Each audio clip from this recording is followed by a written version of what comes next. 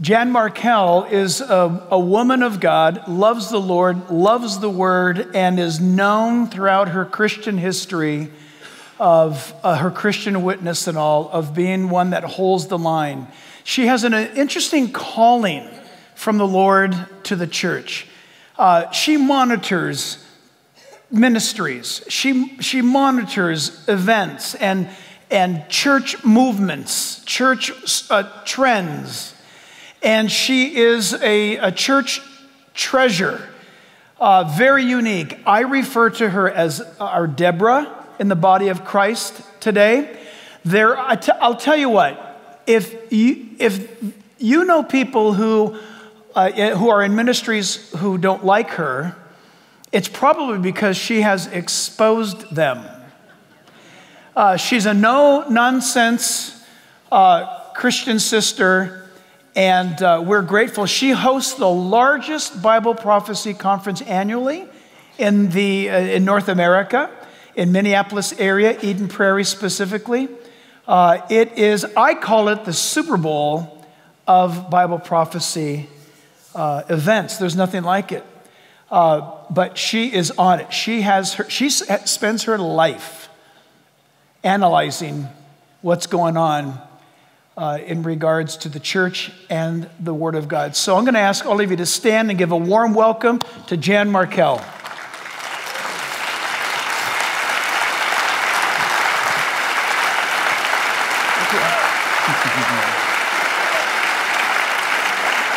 Thank you.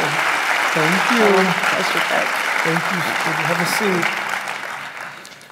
Okay, so just for the record, you guys, this is the headlines the, for the last four days. So, when I say headlines, I'm talking about things that could easily, if not directly, relate to Scripture um, or possibly Bible prophecy. Jan has her list, and because Jan is here, we want to make sure that she uh, speaks to us the way that only Jan can. And she's also going to touch on some things which I'm so grateful for. So don't leave too, don't leave.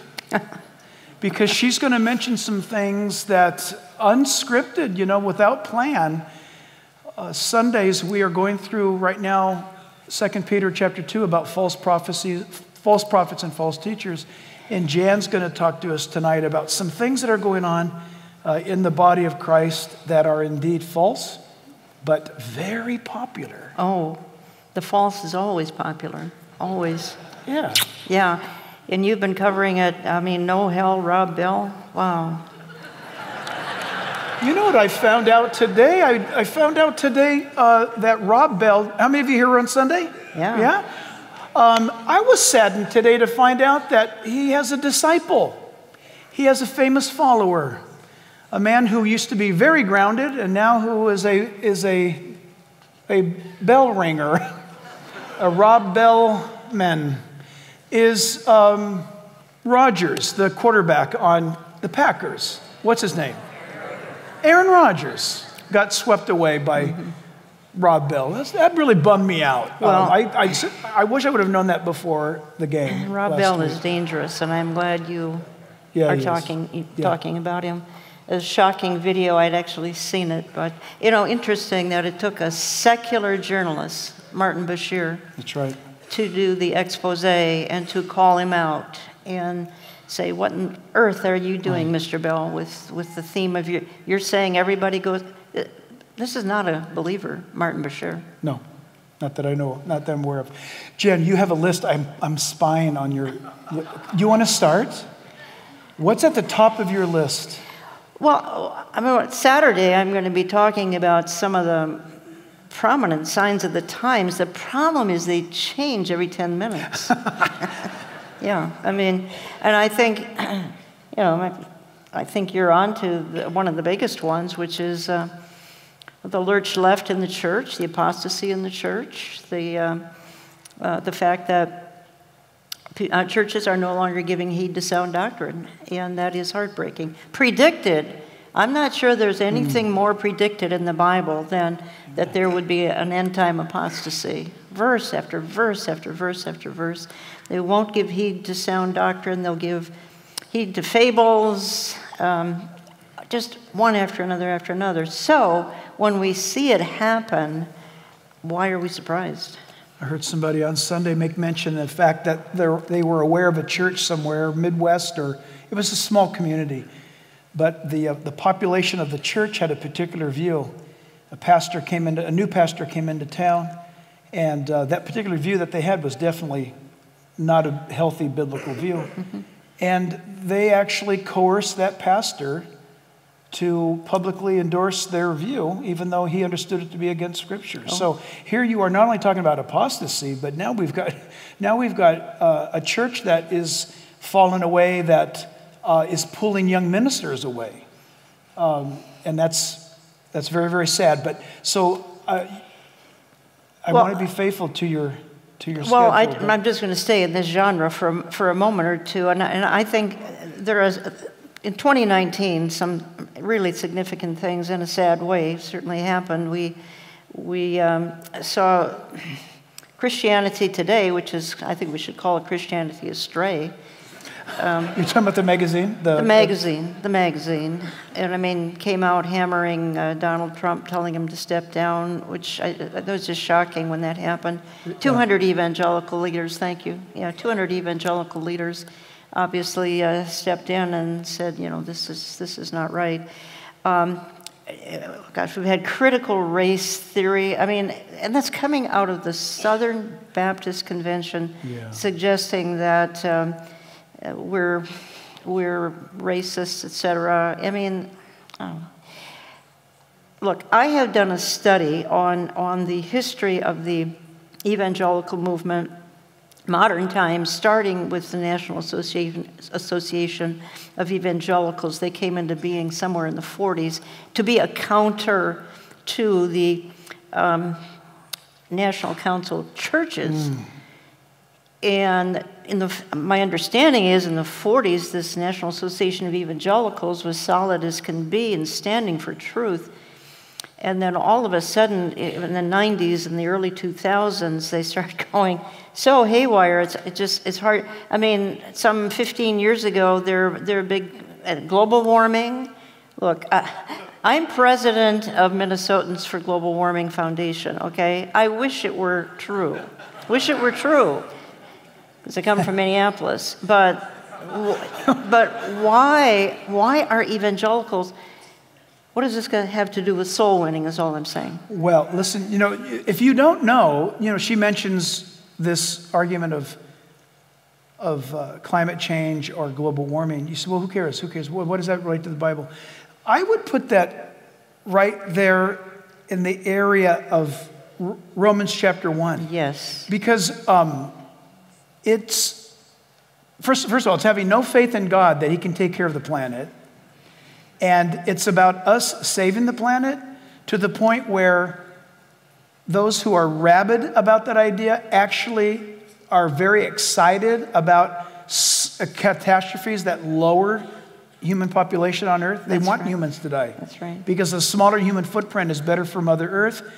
And if you want to know where that's coming from, the spirit of it, you'll find it in Romans chapter 1. They worshiped and served the Creator, creator. or the, the, creation, the, creation, the, creation, rather than the Creator and who is blessed That's what's going forever. On. That's what's going on. And Remarkable. I wonder if this is going to fill, uh, if this isn't going to be a part of the coming one world religion. I'm going to talk about this on Saturday, which I, I think all the tickets are sold, but you can watch it on his channel. But I, I'm just wondering if all of this is part of the coming one world religion. Why, why would Greta Thunberg, the 17 year old from Sweden. Who's, who's, who's declared the successor to Jesus Christ, that would be uh, image number three that I, I have. Uh, declared Times Person of the Year. Why not a president? Why not a prime minister? But here, out of seven billion people, this is Times Person of the Year because she's again crying, the sky is falling and the temperatures are rising, and we only have 10 years left and we need a Green New Deal. And listen, during the tribulation, we're going to have a Brown New Deal. It's kind of a sad situation, it really is. Um, but why is someone like this celebrated? And I think this is the strong delusion of our time when this is the, as Jack said, they're going to worship the creation more than the creator, and that's exactly what's going on. And I think this fits into the coming one world religion. I'll get into that a little bit more on Saturday, but the coming global system, one world system, needs a crisis. It needs a crisis. We know it's the rapture. That's going to be the crisis. But before that, I believe it's this environmentalism. And let's be stewards of creation, okay? Nobody's saying we shouldn't care for right. creation. That's in Genesis, and we need to care for creation. Right. But when we have it going to this extreme, then I think this is, could be a part of the coming one world, world religion. And keep your eye on it and it's part of the global agenda, is the crisis needed for one world is going to say, this will happen hmm. if we don't have a one world system. That's what I think. Yeah. Well, it's interesting because, um, again, it goes to it goes to the the religious system systems that are antichrist in spirit, but earth related, man deifying, or as we'll know, from Scripture, earth deifying, and just missing the mark completely, missing God uh, in all of that. Um, and, you know, it's very sad too because this Greta Thunberg, she's being just exalted in the world. And um, she's, how long has she been, how long, she's been ditching, she's ditched school for two years? Yeah. Right, she hasn't gone to school in two years. That's why, that's why she's called the truant. Did you know that? That's her, and she's and so and kids want to be like her now. Mm-hmm. Well, I don't need to go to school. I need to be like the time person of the year. okay, but um, uh, God rejection. You, you have this, um, or did we already pass that? God rejection, no, well, strong delusion. Yeah. Well, I, I, I think again I'll talk a little bit more too about that on Saturday. But but this. But this they're not going to be here. They're not going to be there on well, Saturday. They can watch it online, and they can watch it on. They they can, they can watch it on YouTube later. But yeah, ha, but Jack, have you ever seen? Have you ever seen the the strong delusion? I mean, we love socialism now. Um, have you ever seen uh, deleting God? I mean, I've got a shocking clip. I don't have it with me, but a shocking clip of how God has just deleted first from Europe and the other parts of the world, but now America. In Second Thessalonians, the Bible says regarding the as we approach or get deeper into the, the the times of the end. It says that when, when there's a temple built, well, it doesn't say when a temple's built in Jerusalem. All of a sudden, the Bible says in Second Thessalonians 2, out of nowhere, the Bible lets us in on something that hasn't happened yet. So listen, get, I, want, I want your attention. There is no temple in Jerusalem right now. All of a sudden, Second Thessalonians 2 mentions a temple in Jerusalem in the future, and a man shows up called the Antichrist, and he's going to declare himself to be God. And the scriptures tell us that God, God is going to send those who dwell on earth at that time strong delusions right, so that they right. will believe the lie. Has the definite article in front of lie. It's not a lie. There is a specific lie that is coming that uh, unless God is protecting you, you're going to fall for it. Now, the amazing thing is, we're not even there yet. There is no That's temple right. in Jerusalem. There's talk about it. All the, all the artifacts for it are, pre, are made, they have the blueprints for it. Everything's ready to go. They just don't have the thumbs up for it. What's interesting to me is we're not there yet, but we're seeing people already embrace strong delusions. Strong delusions. Things that make no sense. Can I, let me insert something very fast. Please. My wife says, Don't talk so much when Jan's here. I want to hear from Jan. I'll give you a strong delusion. Um, black unemployment, 50 or 60 year low. Black unemployment. Can somebody say amen? amen. Black unemployment. Hispanic unemployment, all time low. Uh, female workplace employment, high, all time high. Stock market, right? All time high. more millionaires are being produced right now that invest or that work hard than any other time in American history, right now.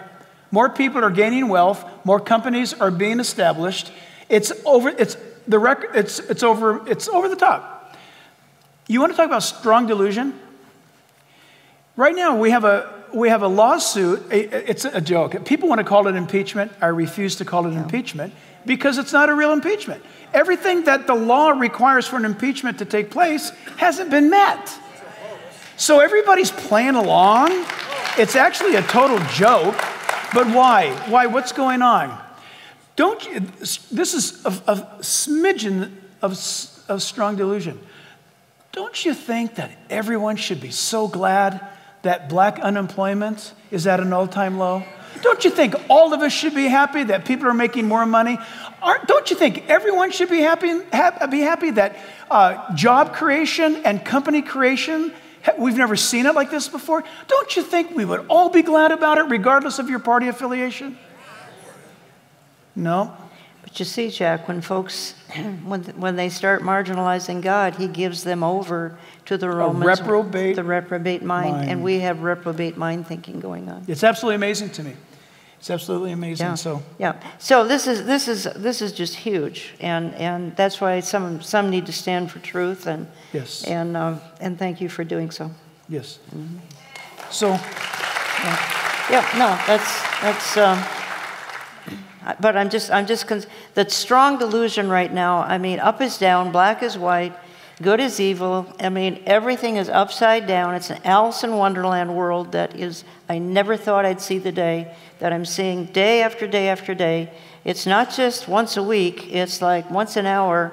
I just, I'm shocked. I'm shocked out of my mind sometimes that things are, what stories that are breaking on the news, situations that are uh, mushrooming before our eyes. I mean, it's, it's staggering. I mean, we haven't even gotten to the Middle East, which is in constant turmoil. I mean, we haven't even gotten to Jews and Christians are on the run everywhere on the planet. I mean, this is what's going on, and uh, uh, Christian persecution is just staggering. Um, right. What's going on in, in uh, with with the Jews on the run? That they've got a clip of picture number um, four. End time Jews. Uh, are they? Uh, yeah. Yep. Look, and the yeah, end of Jewish huge. presence in Europe, question mark.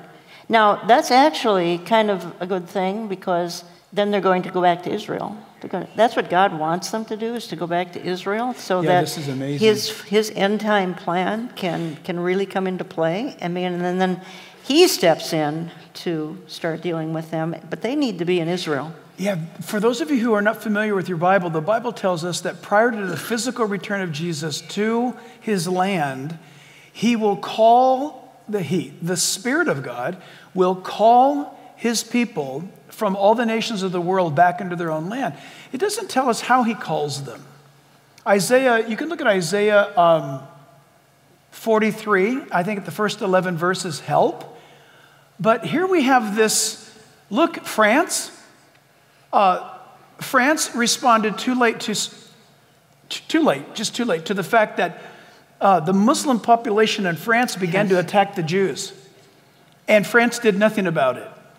And so what happened was the Jews, they have a history understanding, whoop, we remember this happening in, in Germany and in Europe. And so they packed up and they moved to Israel in these last few years. Yeah. And the Jewish ex, uh, evacuation out of France has really tampered with their economy. All because they couldn't stand up, they refused to stand up. But Jews, this rise of anti Semitism is going on around the world. It's increasing in the United States, which is very alarming, uh, to where now the president had to issue an executive order. I don't know if you were aware of this. Yes, that was. Because of persecution against Jews in the United States, uh, President Trump issued an executive order uh, to protect the Jews. Did you know that? Uh, that's how bad it's getting. And so the, the thing is, but it's driving Jews back to their home that they'd never been to before. Again, all of this in preparation for exactly what the Bible had said would happen. But it is a demonic spirit. Uh, you mentioned, you mentioned uh, Israel, a Jew, Jewish.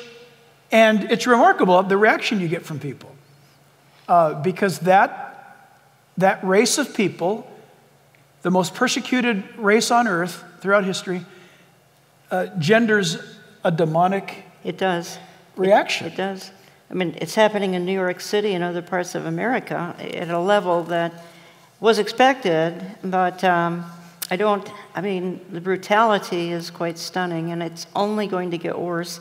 And again, this is, it's happening for a reason. And God is allowing it to happen.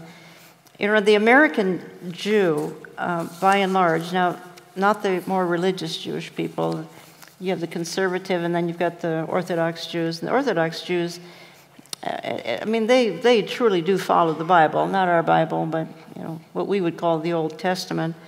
Um, but anyway, uh, I think they are aghast at what's happening. I really do. And I think slowly their eyes are getting open that they have only one they have only one safe place to go to and god's prepared it for them this is the miracle of the miracle of not just the 20th century when it came into being it's the miracle of all time you know what mark twain said about that country back in 1860 he, uh, he, he, said this is a total wasteland completely gone well when he went through it it was when mark was. twain walked yeah. through israel uh, he he comments that he couldn't find a tree. Exactly. And um, that's because of, of the Islamic, Islamic taxation of trees on a, on a residence. So people cut down the trees so they wouldn't have to pay taxes to the uh, Islamic Empire. No, it's true. It's amazing.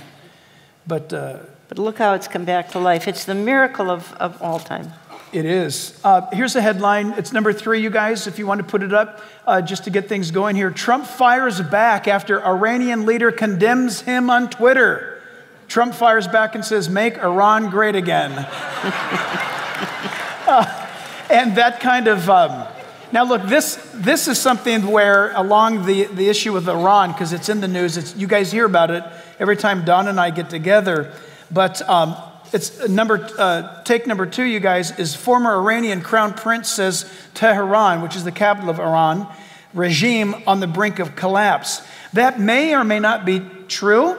The reason why Jan and I take issue with this, it may be true on the short term, you guys, but we know that from the Ezekiel uh, description, which you guys hear about every month, you're probably getting tired of hearing about it, but every month there's more news uh, that is formulating regarding possible fulfillment of Isaiah 30, Ezekiel 38 is um, they may have a collapse and maybe it will be a momentary reprieve, kind of like what we're having right now right, in, in America. Uh, because maybe, maybe God is going to just get the gospel out to a lot of Persians if that regime collapses. But we know this that even if the regime collapses and they have a honeymoon season for a while, it won't be long lived because we know that from Scripture, Iran, Persia, uh, is going to join ranks and must join ranks with Russia. You guys are very well uh, in tune with that. And then, Jan, this one, and I'll let you, I'll let you comment on these. you, you know that something good must be happening with policy coming out of the United States when, in slide number one, Iranian uh, parliamentary member, yeah. a government leader, announces a $3 million reward for whoever kills Donald Trump. Well, this is serious. This is very, very serious. This is very, very serious. It also tells you uh, that these few that control the Iranian people, they don't like what the influence of your nation has been having on Iran. That's right. Because the young people in Iran are rising up because they want freedom, they want liberty. And, um, and they, some of them want the gospel, by the way, very badly. There's a lot of, there's a lot of rumors about the gospel exploding. You're not supposed to hear about it. Absolutely. In Iran. In, in Iran. Iran. Yes. Um, I don't remember where I read this, but China, for a long time, China was the fastest growing, Christ, uh, fastest growing nation on earth regarding Christianity. China, the church, fastest growing. And then I've heard recently that in the last couple of years, that it may be that Iran Yes. is the fastest growing uh, Christian nation on earth. Not Christian nation. It's the fastest growing. Anyway, you know what I'm talking about. Well, about. Christianity Christian- is, is, is bursting in, in Iran, but then the mullahs won't let it happen. Right. So, but if the mullahs were taken out of the way, that could be Wow. the fastest growing Christian population. Could you imagine? Certainly in that part of the world. Another headline I saw, uh, Jack, is uh, Vladimir Putin being called the king of the Middle East. You don't have that one there, but, No, but Putin being called king of the Middle East. Get this leaps out of the Bible. Leaps out of the Bible. I hope that's exciting. But Jan, know? why? Why does how? Ex- Well, explain think- explain to someone who, who's not familiar. Yeah, I, I mean, he could be, and it's a speculation, so you got to be careful. Um, he, if he isn't Gog, that's G O G, if he isn't Gog, he's certainly Gog esque. He he's, he's fills the bill for, for being a potential representative of Gog from the land of Magog. And when I start, when the world is called, the secular world is calling him the king of the Middle East, I, I mean, I think that's huge. I really do. It's amazing. Regarding Vladimir Putin, it says uh, Russia's rise on the global stage, Moscow. Vladimir Putin's efforts to reassert Moscow's global influence appears to be bearing some fruit. But 20 years after he first assumed the Russian presidency, 20 years ago, his efforts to revitalize the country's economic, uh, economy have languished. Believe it or not, that sounds like a very benign observation or comment by this writer, Thomas Grove. That's a very telling, serious issue. Their economy is languishing. He's been in power a long time. Of course, if he gave his $80 billion that Yes, he has he's the into wealthiest the economy, man on earth. He's the well, it's, he's, his wealth is estimated at 80 billion, but his, his illegal holdings, uh, which are more vague, surpass that of Jeff Bezos, which I think Bezos is at, what is he at now today? 125 billion dollars, something like this. Vladimir Putin, um, when, when your economy is languishing, you, you don't want to hear this, but when your economy is languishing, you need a war. A war will always help your economy. But he's, and he's in Syria. So Well, you- you're getting it exactly. Here, Russia needs to get into get into. He needs to stimulate his economy. Yeah. And so uh, this is a very critical thing because I grew up in a home where my dad, who was a Marine, farm boy from South Dakota, uh, red, white, and blue, uh, the whole thing. The whole thing my dad would always say about Russia was, "You never want to tangle with a wounded bear." Russia the bear, right? You never want to tangle with a wounded bear. The bear's economy is languishing. that's right. It cannot last much longer. Something has to happen. And one of those somethings might be slide number five, you guys. The rift between Turkey and America has paved the way for Russia's rebound. This is very stimulating because, uh, again, the, you've heard it from Don and I over and over again. Ezekiel chapter 38 tells us that the house of Togarmah, Turkey, will uh, coalesce with Rosh, Meshech, and Tubal, and its leader will be uh, the, uh, Gog. She mentioned G O G. Uh, this could be this this could be a harbinger of what's coming. Some would say, I know some people who would say, this is it. I don't want to do that to you guys. I want to play it careful, but this is remarkable because Russia, you said they're all over the place. They're not only well inserted in the Middle East, right now there's a little bit vying for power. You guys, that's going on. We got to be careful because Trump is committed to not getting involved in another Middle East war. But just the other day, when was this? Just the other day? Yes, today's the 22nd? Yes. Yesterday. Standoff. U.S. troops block Russian forces from capturing Syrian oil fields. Field. Wow. So Russia in Syria, right? Russia now. Russia in Syria. That's uh, right to the northern north of. Where else is Russia? What else did we find out about? Where's Russia uh, on the North American or North African uh, Mediterranean now? Well, I think we need to keep our eyes on Libya. I really right. do. I mean, previous administration uh, made some gross, gross mistakes with Libya, and now with ISIS now in Libya. Um, you know, is that going to be the next um, scene where, is that going to be the next Syria? It could be. And there is a, um, I don't know if I have it here, there is an article where Russia and Turkey are flooding Libya with soldiers Yes. and military equipment, which is amazing. So there's a big vine, big vine for power in the region. Um, I think you guys know. If I were to ask you, what's driving, what's driving Turkey and Russia? Why don't they just stay home? What's driving them into the area? Is that they like is that they like the desert sun? is it their tan that they can get there? Do they like to fish in the Mediterranean? Uh, no, it's oil. It's oil and natural resources. And so, uh, what's going on? This thing that's in the news right now, Jan, is very, very.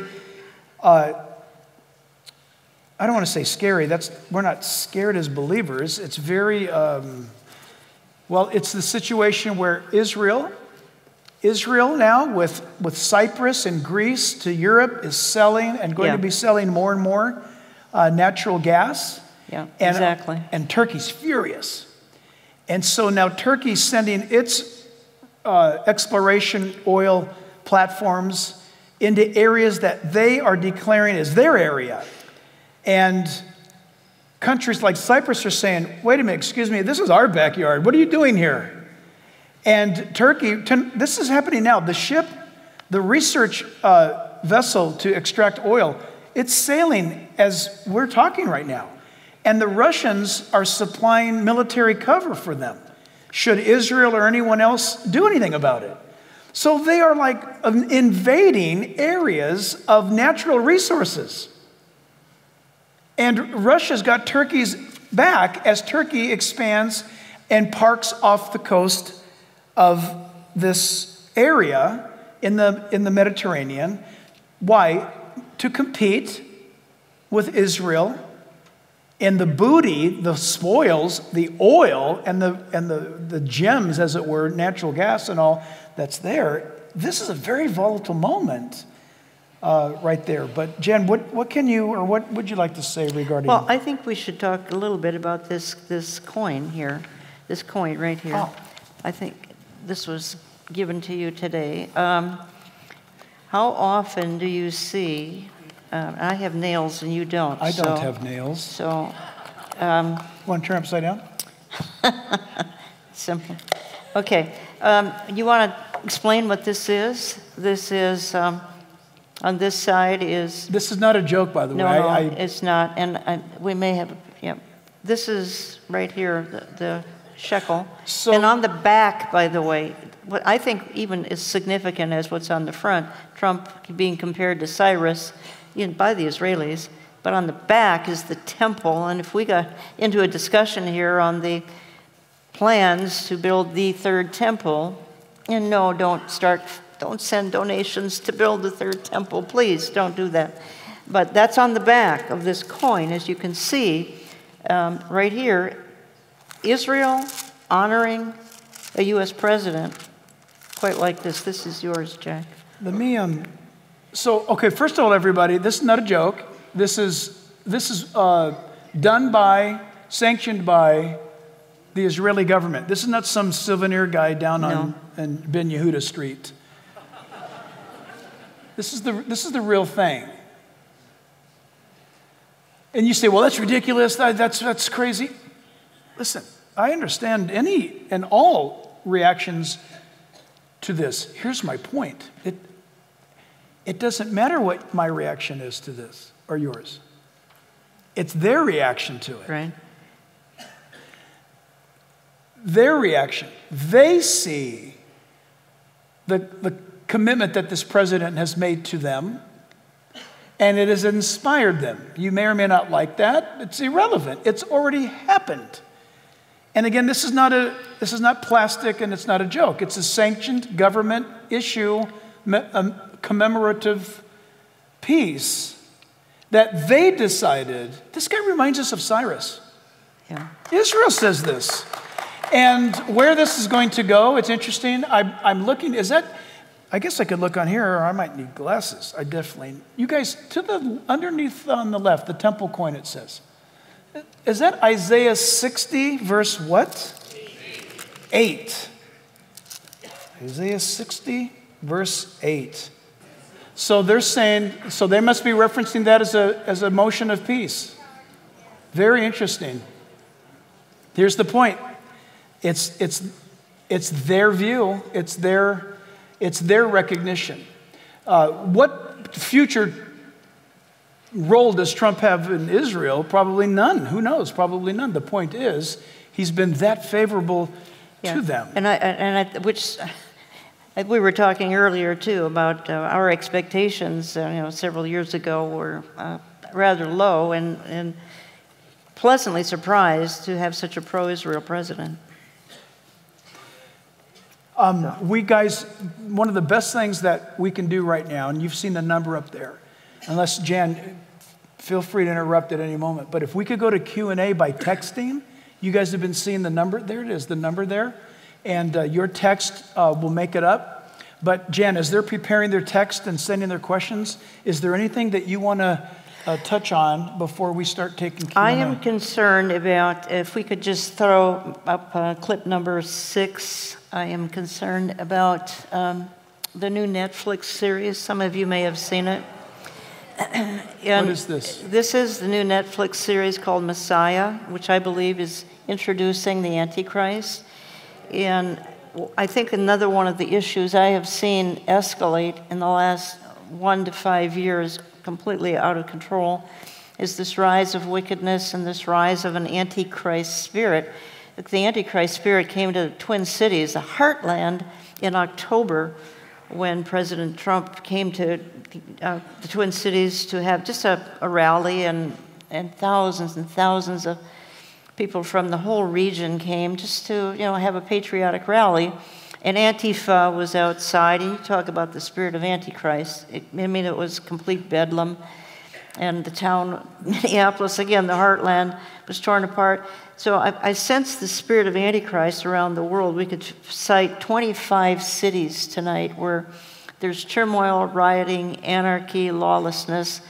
So then Netflix comes out with a series called The Messiah, but I believe it's introducing the Antichrist. But in their version, you mean the, just the mindset of the Antichrist uh, it's, attitude? It's introduced. No, it's introducing a Muslim Messiah, which the Antichrist won't be a Muslim, folks. Just get that out of your mind. Not going to be a Muslim, but Netflix and the producers, who happen to be Roma Downey and Mark Burnett, you'd think they'd know better, have produced a series on the Muslim Messiah who's come upon the world to save the world. It's, Has it's, anyone seen this? I've, I've not seen this. Has anyone seen it? It started January 1st. Wow. January 1st. So, I mean, I think this is ominous, to say the least. I mean, now we're glorifying, heralding, announcing, featuring. It's, it's funny to me that how the secular An antichrist. world. It's, it's funny to me how the secular world loves to, um, on their terms, yeah.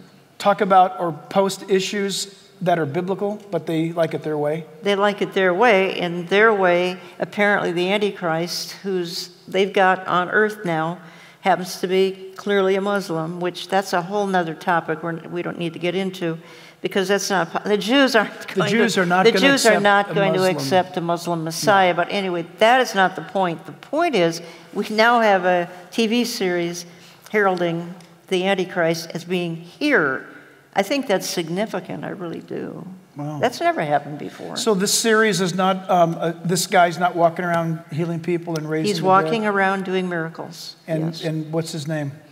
I wouldn't know. I don't know his name, but he, I mean the name. I mean he is named in the series. I haven't seen the series.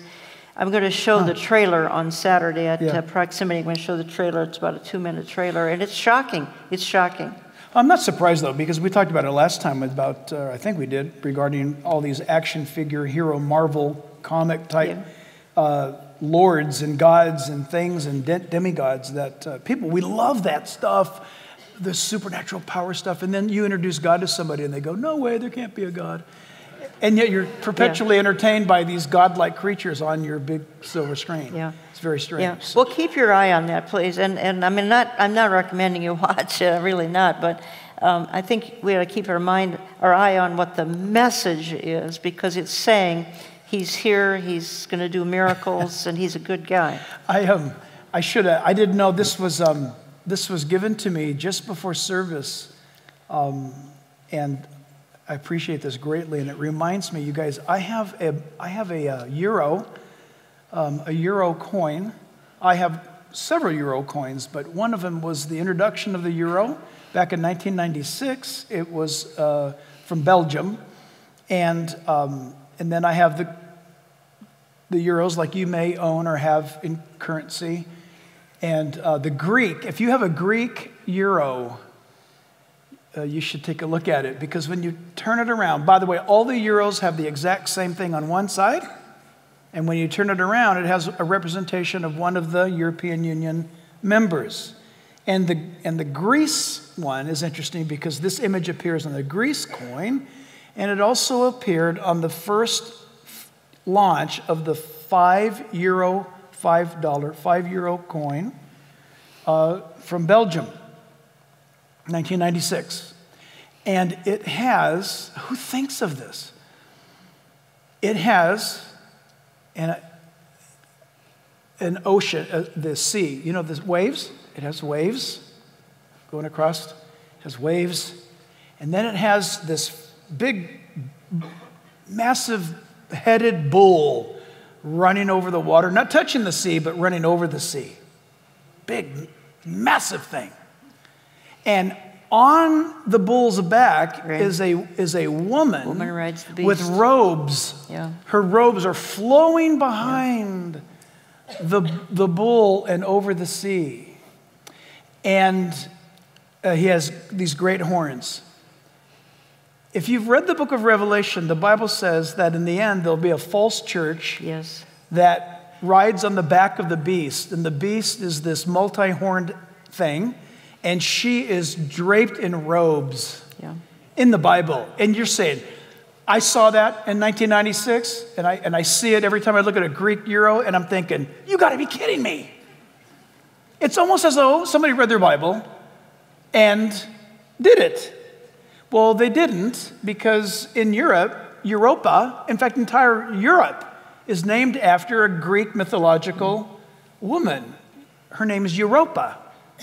And the beast that she rides is Zeus.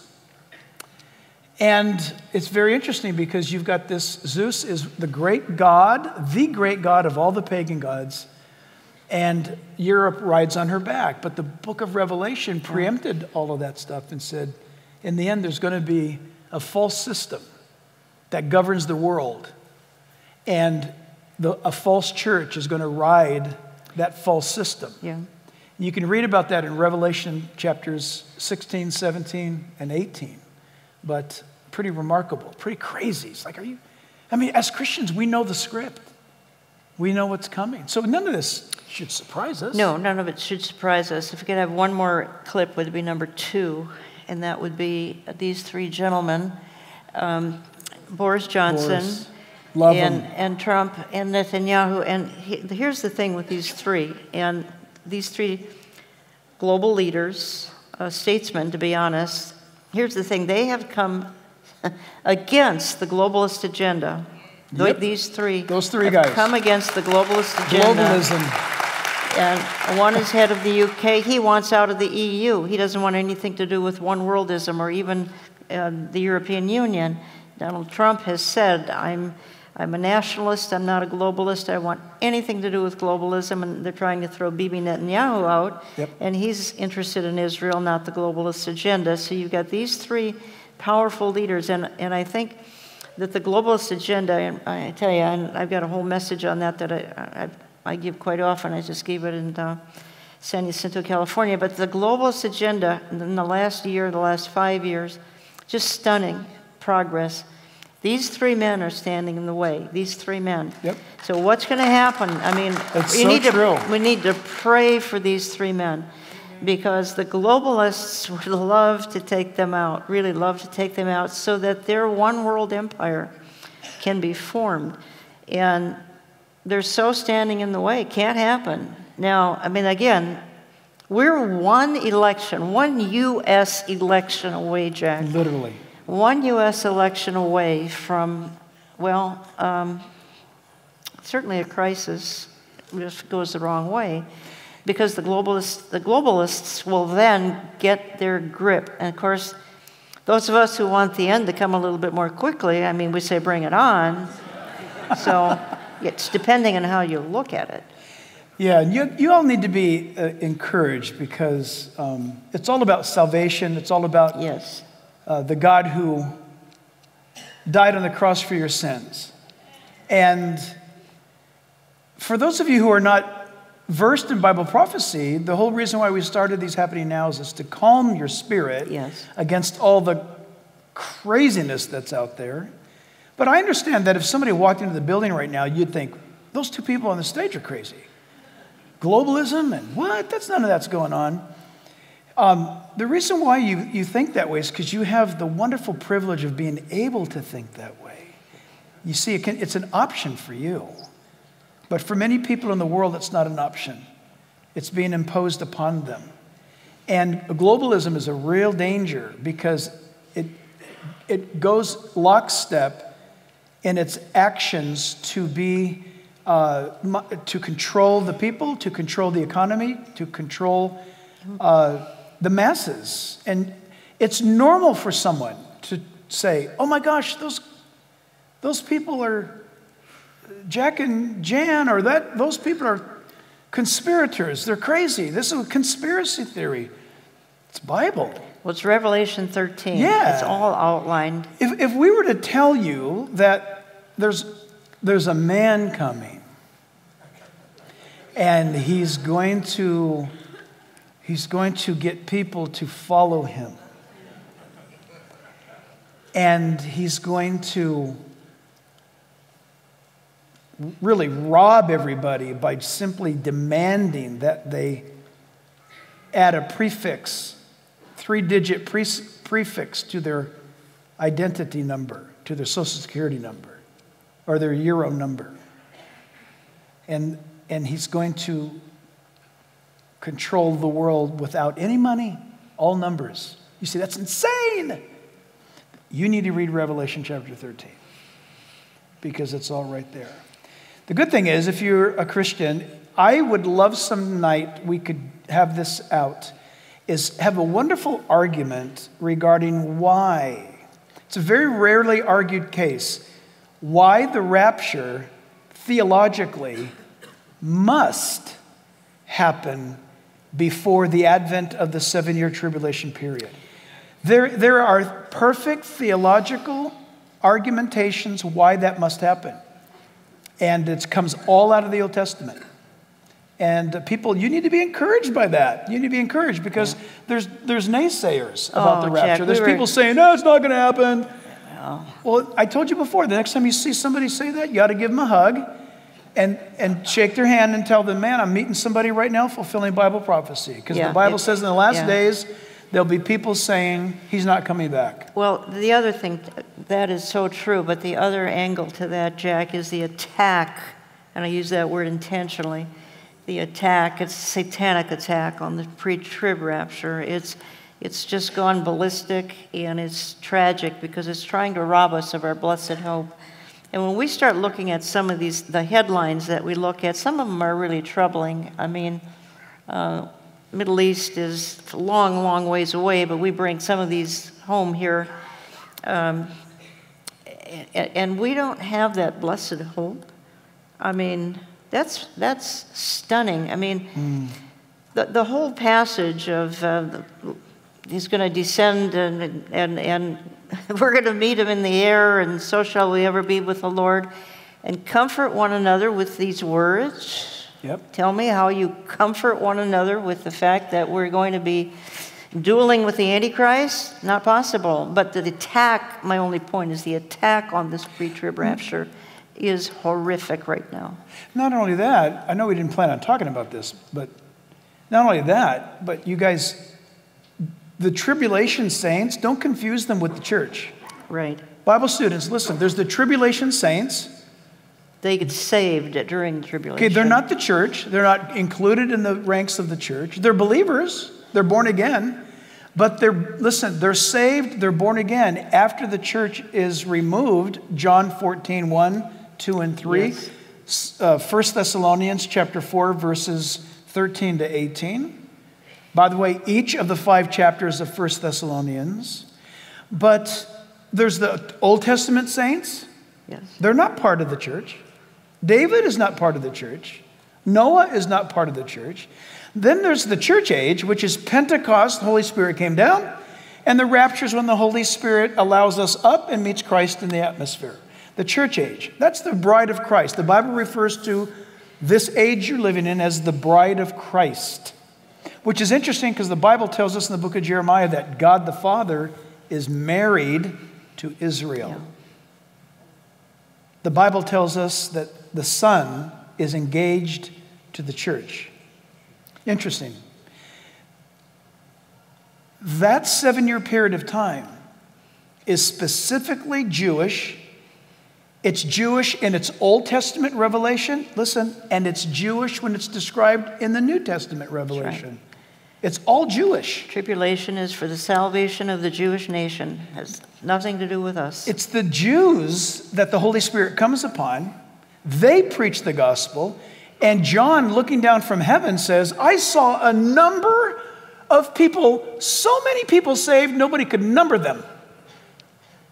Out of the preaching of the Jewish evangelists, the 144,000, right? 100 They're not Mormons. They're not Missouri Synod Lutherans. They're not Jeho- They're not even Southern Baptists. They're Jews. They're Jews. Jews.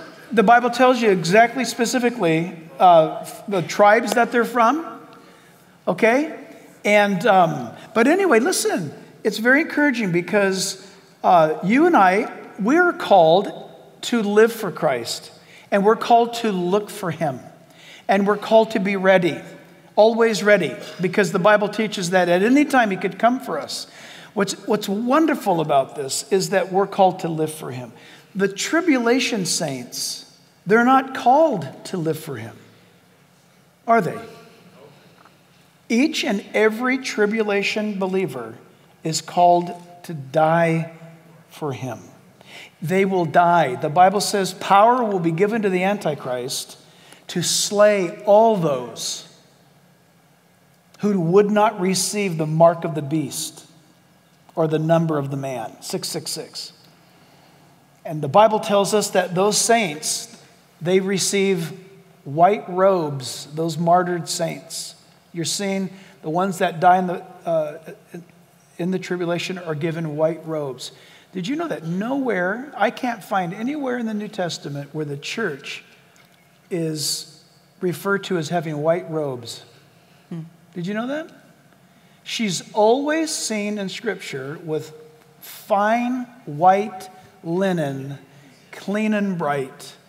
And it's mentioned in Revelation 19 that she is a bride adorned for her groom, the church, from every kindred, tribe, tongue, and nation of people from the earth. That's the church. It's amazing. That's you if you're a believer, if you trust the Lord Jesus Christ. You guys, let's put a question up. How do I talk to my pastor about teaching about biblical? I do. you know what? I would go to your pastor with a gift. I would go to your pastor with uh, the gift, perhaps, of Dr. John Walvoord, W A L V O O R D, Dr. John Walvoord, with his book, um, The Prophecy Knowledge Handbook. It's about this big. It's the most exhaustive uh, executive work by the greatest eschatological scholar I think that's ever lived. Dr. John Walvoord. He's in heaven now. Yeah. Give your pastor that book as a gift and ask him, Pastor, I wish you would teach on Bible prophecy. And I got you this book. Could, could, you, look, could you look at it, please? Because you can't find anybody, you can't find anybody more diplomatic than Dr. John Walvoord on introducing what that pastor you're referring to might think is. But Jack, tough- I think this goes back things. to our opening discussion on Laodicea and that the church today has steered so far away from this topic, uh, partly because they want to grow the church and the church growth movement and everything. And so this, what we're talking about is deemed as all sorts of things, doom and gloom. It won't grow the church. It's not productive. It's controversial. It's divisive. And so the pastors, by and large, and and I think Brent Miller, who's coming out here in the next two, Oh, a couple weeks or so. I think Hawaii in February. I don't. Well, I don't- his film, uh, Before the Oh. Wrath, you and I are in the film Before the Wrath. Before the Uh, Wrath. uh, he- He, well, he spoke at my conference in September, gave a 20-minute presentation introducing Before the Wrath. You're, you're in it, in case you don't, didn't know, you're in it. I don't even remember. Amir is in it. J.D. Farag is in it. I say about three words in it. Um, anyway, he says 98% of the churches today will not talk about what we're talking about. 98%. That's um, a survey done by oh, Lifeway and others looked into this and, and quizzed pastors. That's why you got So, this isn't- question. Isn't that funny, you guys? So, pastors are afraid to talk about it because it might damage church growth. So, Yeah. look around. Yeah. Look around. You knew tonight was coming, and you could have stayed home, you came. But you know what? I think the last time Jan was here, when we did this, I think we had somewhere north of 500 or 600,000 views. That's just YouTube. Did you know that? Did you know a couple weeks ago, Don Stewart and I were here, right? Together? Uh, Don just told me this uh, tonight that we're, we passed, uh, we're north of 300,000 views in two weeks. What does that mean? It means that people are hungry for it because people don't get it. And, and they want to know. They, They want to have, know. they want to be taught, what does the whole Bible say? And so that's why we started these happening nows. But so next question. What will we have to endure as Christians before the rapture takes place? Will we be where will we be here when the antichrist is revealed? No. Jan, uh, uh, go ahead and answer. I mean, I got my answer, but I know that we have the same. Well, right, I mean, as we speak, what are we going to endure before the tribulation? As we speak, and we were talking behind the scenes back here, and Don is back there, that as we speak, 245 million Christians are being persecuted and or killed for their faith. Now, that is the wrath of man and the wrath of Satan. That's not the wrath of God. That happens in the hmm. tribulation. So, but God allows the wrath of man and the wrath of Satan to, to take place, and it's intensifying and it's intensifying. And I, I was saying a few minutes ago, the spirit of Antichrist is raging around the world. There are demonstrations, anarchy, lawlessness in about 25 cities as we speak. So that happens before the rapture. After the rapture, well, that's all the book of Revelation. Can you imagine too? And you know, I just You can't find the church after Revelation 3. It's chapter 4, verse 1 is the last possible thing we get, and that's even it. through John. Yeah. John says, I heard a voice saying to me, as it were a trumpet speaking, saying, Come up here. Revelation 4 1. You- She's never found again. Next time she's found, she's in Revelation 19 in heaven. How'd she get there? find that significant. Listen to this. You guys ready for this? Listen. So the question was um, regarding the rapture. I guess I should say the question was, what do I need to endure? Something like this, right? Can you guys put it back up? What do I need to endure as a Christian or something? First of all, we all must endure. Every one of us are to endure. Okay, we need to get that under our belt. We are we need to endure everything that the world throws at us. So just understand that. Because Christians are dying. You just mentioned that. 245 million in one year. They're dying. Well, they're persecuted. They're not all dying. persecuted. They're not all dying. They're persecuted. They're but there's- persecuted. There's, somewhere two to three hundred thousand a year are, are killed, according to Open Doors Ministries. But here's the thing: is we are we you we need to know this that martyrdom has happened in the church since the church was born, since James, okay? Don't think for a moment, look, Jesus could come back right now, okay? That's a fact. He could come back tonight. If he doesn't come back and pandemonium breaks loose in America and people are targeting Christians, well, my goodness, they're targeting Jews now. What if they decide to start targeting Christians? And it really begins to get unhooked, unhinged. If you don't know your theology, you're going to say, wait a minute, I thought Jesus was going to come back before this. Well, what about the believers in North Korea? It didn't happen for them. Are you with me? You've got to endure until he does come. Don't confuse enduring hardship and persecution with the tribulation period. The church must suffer persecution. It has for 2,000 years. It's coming to us. The seven year tribulation period is the wrath of God coming upon a Christ rejecting world. So listen to this 1 Thessalonians 5. But concerning the times and the seasons, brethren, you have no need that I should write to you, for you yourselves know perfectly that the day of the Lord so comes as a thief in the night. Listen. Don't answer anyone out loud. Comes as a thief in the night to who? To you? Listen carefully. For when they say peace and safety, then sudden destruction comes upon them. As labor pains upon a pregnant woman, they shall not escape. But you, brethren, are not in darkness, so that that day should overtake you as a thief. We are all sons of light and sons of the day. We are not of the dark nor of the night. Uh, of the night nor of the darkness. Therefore, let us not sleep as others do, but let us watch and be sober. For those who sleep, sleep at night. He's talking about spiritual sleep. God help us with our sleep. Physical yeah. sleep, you need. I need. Yeah. Spiritual sleep, sleep at the night. Those who get drunk, get drunk at night. But let us who are of the day put on the breastplate of faith and love, and as a helmet, the hope of salvation. For God did not appoint us to wrath, but to obtain salvation through our Lord Jesus Christ, who died for us, that whether we live or die, that we should live together with him. So, whatever's coming to the world regarding this, these events, we're ready.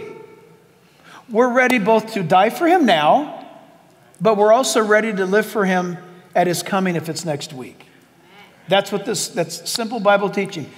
Um, but, but Jack, Jack, the wrath during the tribulation is so grievous. It's that if anyone, even tonight, yeah. we want you to escape. It's so simple. Oh. Call upon the name of the Lord Jesus Christ and be saved and, and escape escape the things to come. And, and when that is all happening on earth, and again, it's, it's just unspeakable the seals, the trumpets, the bowls, we're enjoying heaven. Now, in the meantime, you know, let's be winning the lost and causing as many to escape here as possible. Um, so I mean, that's the that's the essence. That's, that's the essence of end times. It's not looking necessarily at signs and, and, all the things and connecting the dots. Yep. That's all important. I think that we be aware of, of the things that the Lord is showing yep. us, but ultimately, is to warn the lost, uh, the lost, warn the lost that you can escape all of this, the wrath to come. The wrath to come is the tribulation, and that's what the believer escapes. And if you aren't sure of that, please don't leave tonight until you yeah. are sure. You know what she's saying is true, and I'll prove it to you in a second. Whenever there is a catastrophic event, where, where does the world, at least, at least America, I, I can talk, can't talk for Europe, but for the US, when there's an event that takes place that rattles the American they have enough Judeo Christian understanding. They run to church. Yes. It's a very rare thing in the world. Yes. I've told you guys before. My European friends tell me when they have a when they have their 9/11 type events or when they have an earthquake or when they have something come down, they all run to the pub and get drunk. And I'm not joking. I've had Christians tell me, "You know what we do? You guys are amazing in California or in America. You guys have an event like a 9/11, you all run to church." We have an event, we all run to, to the bars and get drunk. But they only run to church for a short season. Then they forget, and then they go back. So you, you might say, oh, you, you pre tribulation rapture people, you just want to escape. You just want to escape. bet. Let me read. You bet. right here. Listen to this. Listen to this. Watch therefore and pray always that you may be counted worthy to escape all these things that are coming upon the earth to stand before the Son of Man. Luke 21 36. Jesus used the word escape Yeah. the wrath, flee from the wrath that's coming. Next question. Do you think that the extreme hate for President Trump is due to him defending Christianity? No. I know that there are political and other reasons also, but do you think that's the dominant underlying reason why he's so hated and attacked by those on the left? I do not believe that, although that's a factor.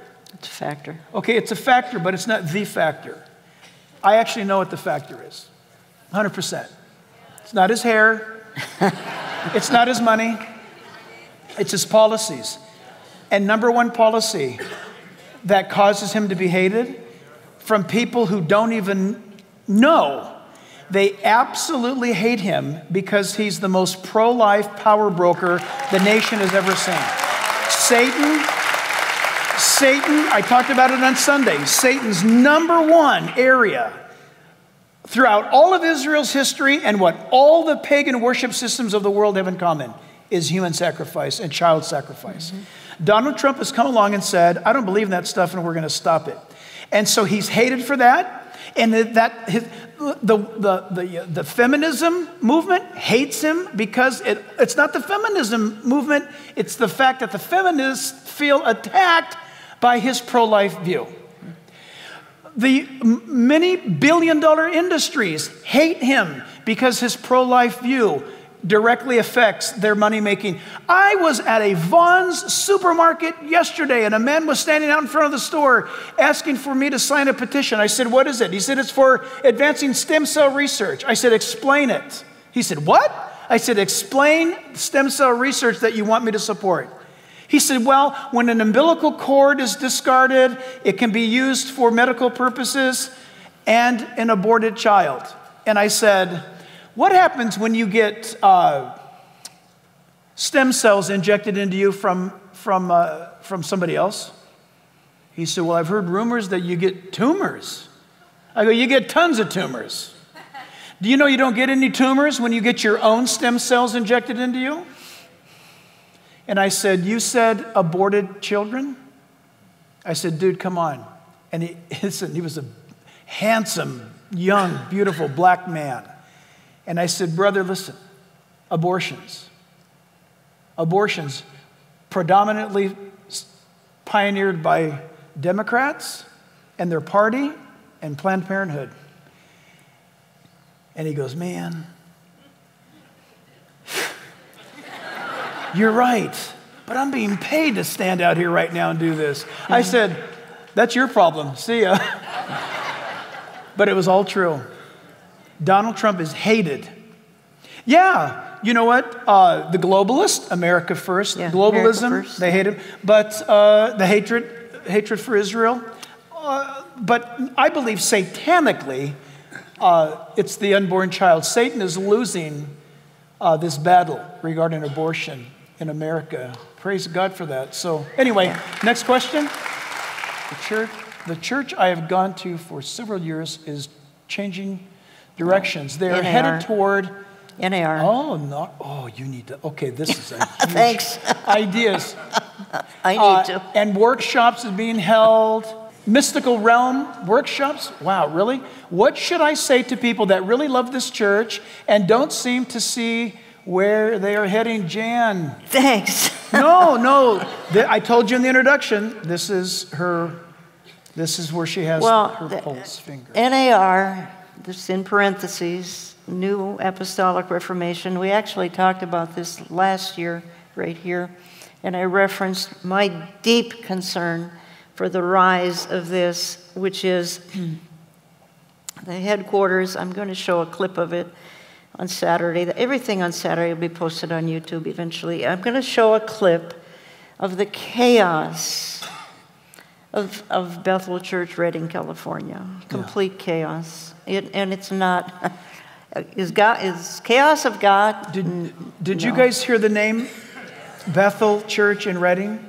Yes. And this new apostolic reformation, then they have a whole belief system, seven mountain mandate. They believe they're going to bring heaven to earth.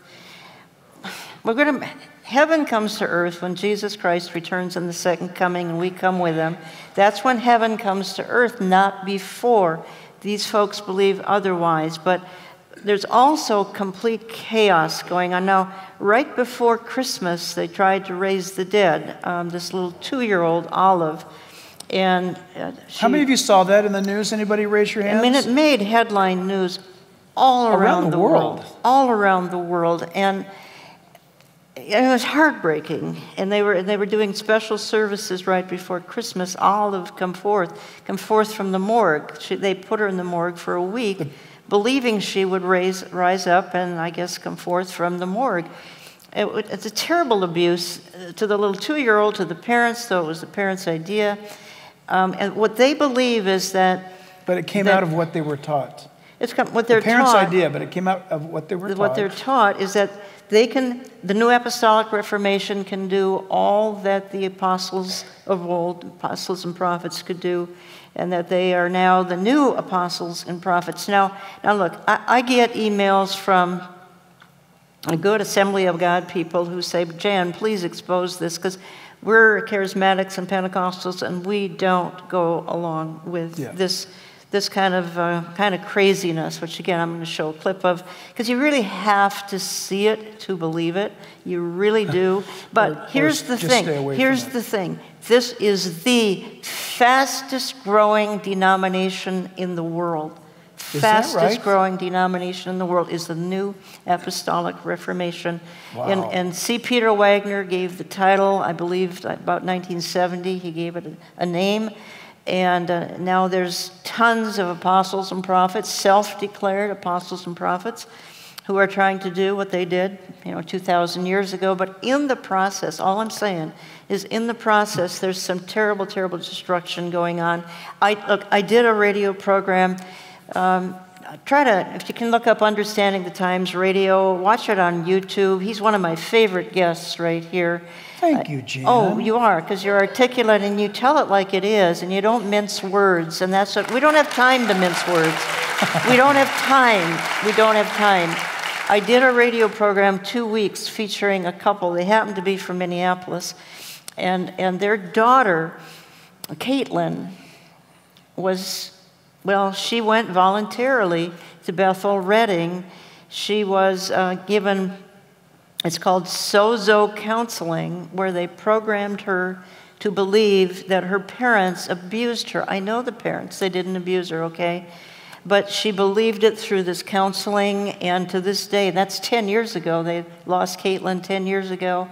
And, and that's what they're doing is they're doing some unhealthy things that aren't of God. Okay, it's not of God to take a daughter who was 20 then, now she's 30, I, I believe, to take a daughter and ostracize her from the family and, and convince this little this this 20 year old now a little older that the parents abused her and so when the parents would come visit her at bethel the, the girl would take off and run, terrified of this wonderful couple that I know. So I did two weeks on air. Do you know?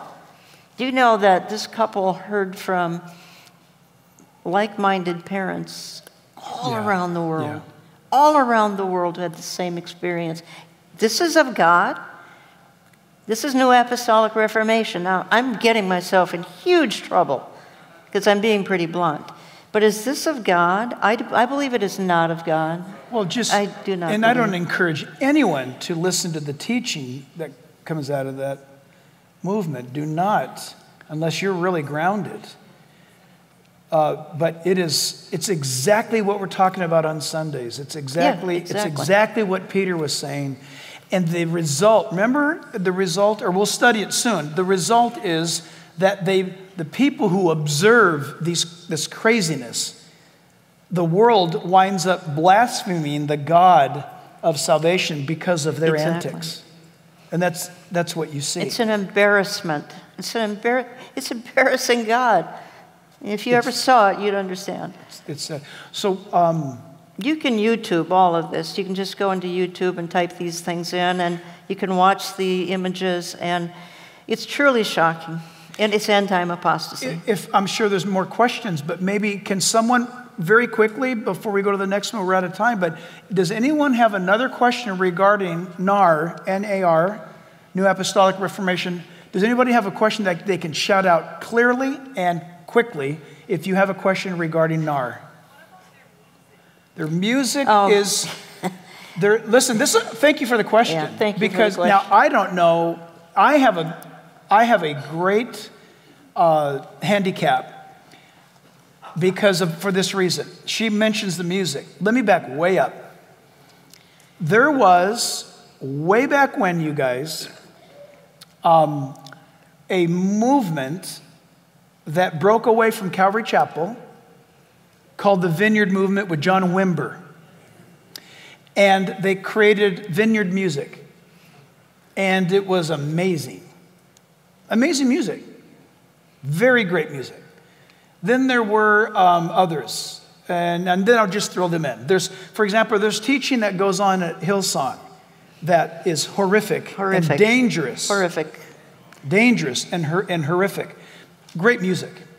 Um, I could go down the list. Str- strange that strange ministries that are out there in, in some areas, clear violation of Scripture, with really great music.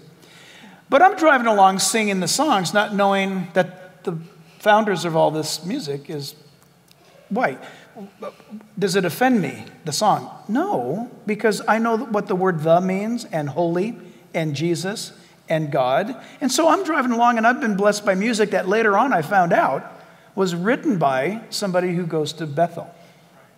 It's putting, the church is doing this, playing it, really putting their stamp of approval on New Apostolic Reformation. And if you really want to do that, pastors, I, and I think all some of us are saying is why don't you look at the words of the, look at the authors of the music, uh, look at the theology. I just did two weeks on air. It's on my website, it's on YouTube, two weeks on air on the worship wars. And this was kind of the essence of it is pastors, can we really excuse not only when it's coming from the sources that we're talking about, but the theology, even how about the lifestyles? What if the, what if the author of some of the music, um, Ray Boltz, for instance, homosexual, I mean, but we're singing it in church? So I think we got to look at, at, at the music in the church and look at the words, look at the theology. Is it promoting kingdom now? We're going to bring heaven to earth. It, much of the Bethel music, not all, some of it's beautiful. But some of the Bethel music, Hillsong music, is going to talk about we're, going to, we're bringing heaven to earth. Or Jesus, he, he left heaven because he was lonely for us up there, and he came down because he wanted to be with us. Well, that's horrible theology. insane. Horrible theology. But we're singing it every Sunday in church. You guys, I remember Yeah. Pastor Chuck, there's a song that's, it might still be popular to, among some ages today, but uh, it's an old song and it goes something to the effect, um, "Ah, Take not thy Holy Spirit from me. Um, how's that song go? Anybody remember that? Yeah. Do you remember that song, Marcel? Um, it's a great song. It's, it's been around forever. But it's basically comes out of, it's, well, not basically, it comes out of the book of Psalms. It comes out of David's experience when he cries out, Take not thy Holy Spirit from me. We would sing it at Calvary, and it might have been even written by somebody at Calvary, and Chuck Smith would every time say, That's not a biblical song. so, well, wait a minute, David wrote it. It's not biblical today. Listen. David wrote it, but it's not biblical today. Do you know why it's not biblical today? Yeah. Is because he will not take his Holy Spirit Right. from you today. In the Old Testament, he did. He came and he left. He didn't indwell people, he only came upon people. Only in the church age does the Holy Spirit come and reside in people. And Pastor Chuck Smith would always say, that's not, that's not biblical because he's not leaving me. And that's a sweet, that's sweetly true. Final question, real quick. We got to end with this one. Why do American Jews keep voting? Why? Well, strong delusion. Yeah, strong delusion. Um, they do love. Remarkable. They love liberalism. Some of them come from their ancestors, their parents, grandparents came from socialist countries. They only know socialism. But here's, I think, the biggest reason. I, I, look, I, I ask my Jewish relatives, you know, why do you forever and ever and ever and ever, going back to Hubert Humphrey and maybe even before that, you always vote Democrat, and they would tell me that we have to stand up for the little person. We, we can't be a part of this big corporate, even though they maybe had corporations, but they've been taught, just look, evangelicals have been taught we have to stand up for righteous values, um, biblical worldview. Jewish people have been taught we have been persecuted, we are going to stand for those the minorities. So, so the we're going to vote. Yeah, we're going to vote for the team that keeps the people that serve them exactly. in bondage. Exactly. And um, isn't delusion. it funny? We came out of bondage, out of Egypt. Yeah, out of Egypt. But we vote for people who keep people in bondage and on a welfare system. And what's tragic about that? Uh, that that question is asked a million times a day. Yes, yes. It never gets a good answer. Uh, and when you do ask a Jewish person, why are you voting like this? Uh, you're not going to get a, a, a, logical answer. They're genius, brilliant people. A lot of them are atheistic Jews. A lot of them are and Jews. that's part of the problem. And they do not believe in God. But see, if they do believe in God, then they're, they're, they're moving to the center. They're moving to the center big time. I think you're going to see them probably vote for Donald Trump. I mean, they're looking at the circus going on, and they're smart enough to know but, it's a circus. Jan, I hope you're right, but do you know how many Jews in America got angry at Donald Trump for moving the embassy to Jerusalem? Well, de- that's delusion Furious. again. It's delusion. Isn't it amazing? A friend of mine, uh, Moshe Levy, we were, he wanted to see Hollywood. I said, you don't, you don't want to see Hollywood. No, we get this all the time. People come to town, oh, we want to see Hollywood. no, no, you don't want to see. I want to see Hollywood. So we go, and all of this, you know, and it's, and, and we're walking. We've heard of Rodeo Drive. Okay. So we park and we're walking down Rodeo Drive, and he stops. Classic line. Everybody's Jewish. and Moshe looks around and he says, now I see why these people stay here. Now I get it. These Jews, to them, this is the promised land. Yeah, it is. And it's true. Jews in America, very few of them have a love for Israel. No, very don't. few of them no. have a love for the physical land of Israel. I mean, I can tell you right now, uh, Dennis Prager loves the land and loves the Jew. He's, a, he's an oddity, he's a rarity. Not all Jews are like him. And so, um, yeah, you know what? Take your Jewish friends to the platforms, the party platforms. Have them read it. It doesn't take long, it's online. We're even going to be handing them out to you in, yeah. in, in uh, 2020's uh, you know, late summer months. We'll be giving you the platforms, and you ask yourself, we'll ask as well, which one's closest to the honoring of God? And, and which one's closest, you vote accordingly. Remember, the Jews, I mean, in their defense, they have been blinded by God for a purpose. Um, the that blinders so come true. off. The blinders come off during the tribulation. That, and one third of them get saved during the tribulation. That's when the blinders come off and they can see. But right now, there's a remnant. I have saved Jewish relatives. Many of them have passed away now, um, but I, I still have some that are left. By and large, they have been blinded by God. It's something I don't fully understand, never will. But you need to take that in consideration. Awesome. And I think that drifts over into the political world as well uh, when we talk about the blindness. That is so, we'll end with this. It is so excellent what she just said because the Bible tells us in Paul's letter to the Corinthians, he says that Now, listen carefully. He said, To those who do not receive the gospel, that they do not believe, Satan has blinded them so that they cannot believe. But then you come to Paul's letter in Romans right. about the Jew. Did you know that Satan, if you look at the scripture and take it exactly as it said, says, Satan has blinded the eyes and the minds of the Gentile world. The Bible says God has blinded the minds of the Jew. That, that, you say, well, well, that's unfair. Can't Jews get saved? Of course they get saved. There's Jews that are getting saved today. But as, as a nation goes, as a people, they're walking in a blindness that they're embracing, and it's a, it's a blindness that God has given to them. The seven year tribulation period, yeah. that all comes off. So you say, well, Jack, that doesn't sound fair. Can a, if a Jew wants to accept Jesus today as Messiah, can he do that? Yes, of course he can. You understand that? If you're Jewish, it doesn't mean you're condemned. If you're here tonight or you're watching right now and you're Jewish and you say, wait a minute, I want, I want Jesus as my, my Messiah, that means God is lifting the veil from your eyes Amen. and you receive him right now. Okay? And, and you go to him. Go to John chapter 3. John, how do you say, uh?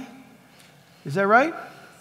Go to Yohanin chapter 3 if you're Jewish and read how a Jew gets to heaven. Jesus tells Nicodemus, a Jew, how to get to heaven. Hey, thanks for watching Real Life YouTube channel. And if this message has been a blessing to you, then just click the subscribe button because we'd love to keep you up to date on what we're teaching on and what's coming next. And if you'd like to help us increase our reach in getting out these messages to a greater audience, then you can help support us by becoming a partner by simply clicking on the link in the description box below. So, listen, we want to thank you for helping us get the Word of God out to the ends of the earth.